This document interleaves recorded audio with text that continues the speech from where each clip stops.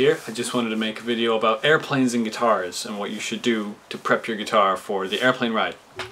Now, sometimes they have a gate check for a guitar if you've got a soft case, um, but most of the time, uh, the, uh, from what I understand, they don't really like that and would rather put it in the belly of the plane with most other things that uh, are shipped over the airplane. Um, what I did when I was in Edmonton recently was I got my hard case from ESP, put my NT7 in there, my ESP Horizon NT7, and I uh, undid the tension on the strings. Someone's in the pool. And that's the way you are supposed to transport an electric guitar. You're supposed to undo all the tension on the strings because it gets very cold on an airplane, in the belly of the airplane.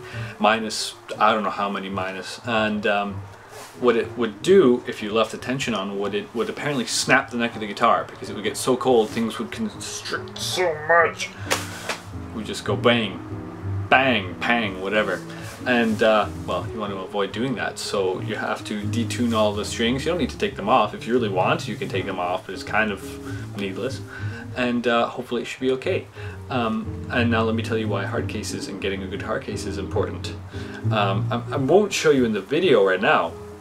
I might make an entirely different video complaining about this later but um, I found in the hard case well I suppose dug into the hard case was a bunch of nails as if someone just went like with a nail gun into my hard case. Not not to bind it together, but to just randomly, it, it just nails, actual nails.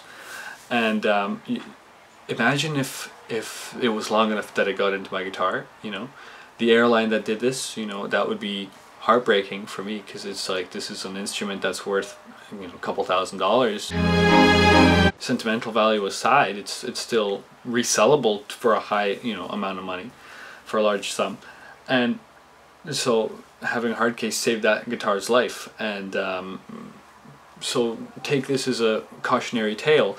If the nail was this big, it would have gone through to the guitar and probably damaged it or gotten stuck into it. Um, thankfully they were quite small, but there's plenty of them on the top and on the bottom of the case for whatever reason. Not much on the actual case itself, it's just in the very top areas, um, but it saved my guitar. So um, it, if you don't have a hard case, but you're playing gigs and stuff, you know, and or you're going to be taking an airplane or whatever, just get a hard case. Insure yourself. You know, it, it's cheap. It can be anywhere from 80 Canadian dollars, which is what like 60, 70 pound, or like 70 American to like I don't know, they make flight cases that are made out of steel and aluminum and stuff like that that go for 150 and 250 bucks and up.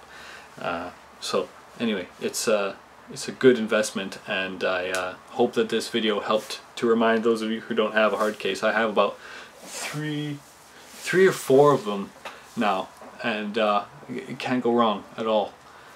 Anyway, cheers YouTube. Thanks a lot. Please don't forget to subscribe and uh, yeah enjoy your uh, bacon and swimming pool antics.